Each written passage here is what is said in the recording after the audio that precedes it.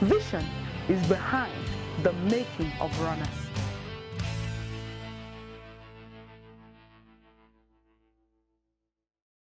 Praise the Lord. Welcome to beautiful new week.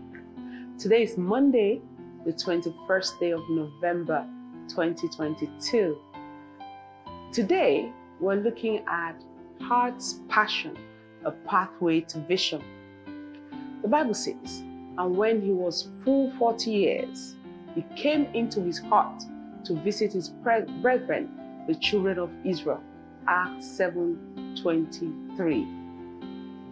Thought for the day when you are passionate, you undermine resistance. Vision is a revelation of God's plan for a person's life.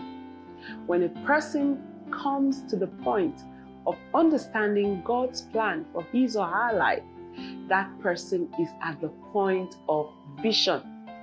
Knowing how crucial vision is as far as destiny fulfillment on earth is concerned, we're going to look at one of the ways we can arrive at vision, which is the discovery of heart's passion. Passion of the heart is a problem that you are yearning to solve. It is whatever makes you uncomfortable if it is not done. Your passion is what will not leave your heart alone. Acts 7:23. There are two things I want you to take note of regarding passion. The first is that passion of heart is a clue to purpose of life. Whatever is a passion in your heart is connected to the purpose of your life. Hence, passion is a foundation for vision. Number two, passion is your vehicle to your portion in life. If you drive in the vehicle of passion, you can reach your portion. Nehemiah chapter 1, verse 3 and 4. Now, what is the connection between vision and passion? First of all, passion influences vision and fuels drive. Whenever something has become your passion, especially God, a God's given passion, it's almost inevitable that it becomes your vision. Secondly, passion fuels pursuit and persistence. Where a man has passion, there he won't lack pursuit. When you are passionate, you undermine resistance. Thirdly, passion is contagious, it is infectious. Passion has the capacity to recruit vision implementations. Habakkuk, Habakkuk chapter 2, verse 2. It was a fire that drew Moses' attention. So it is fire that you carry that will draw the attention of people that are relevant to your life and your destiny. Remember this that when you are passionate, you undermine resistance. Praise the Lord. What's our assignment today? Number one, generate passion by hanging out with with the consuming fire. Secondly, associate with passionate people and open your eyes to the needs of your generation. And thirdly, whenever God reveals a vision to you, run with that vision.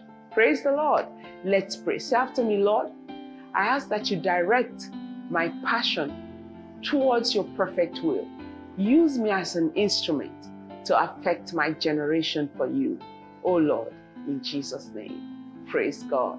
I'm happy and I believe that God is set to ignite you with his passion in the name of Jesus.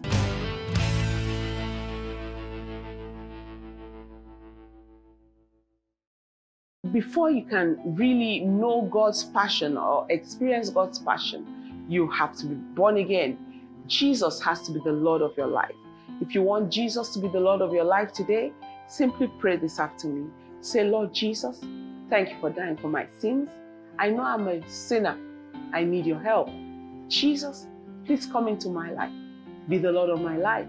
Wash away all my sins. Make me a new person. From today, I turn my back on sin. I will live to please you, Lord. In Jesus' name. Amen. Praise the Lord. I'm happy you prayed that prayer, and I believe the Lord has heard you and answered you in the name of Jesus. I pray for you that God will help you to live a life that truly pleases Him in Jesus' name. Praise God. We're reading First Corinthians chapter 5, 6, and 7 today.